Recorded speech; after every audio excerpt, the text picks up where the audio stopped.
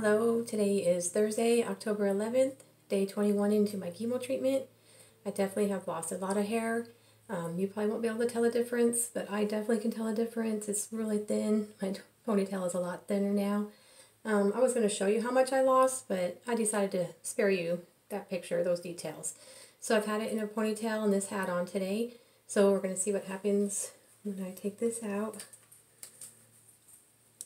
Well, a little bit. That's not too bad. Then we'll take my hat off. See some in my hat. And see what happens when I brush it.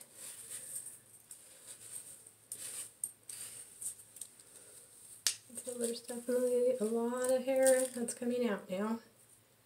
So this is just from not brushing it today. So and like I said, you might not be able to see a difference, but I can definitely tell it's a lot thinner and it just keeps coming out, coming out. Um, so it's not really coming out in chunks to where it's leaving bald spots. It is just really coming out in these strands.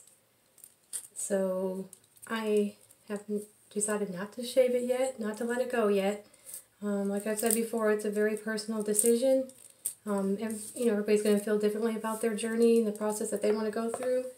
So I feel like I'm going to let it keep going until maybe I see some of the bald spots or it's really, really thin, which, like I said, you might not be able to tell, but I definitely can feel it and everybody knows what their own hair feels like and how much falling out is normal for them. So this is definitely not normal for me.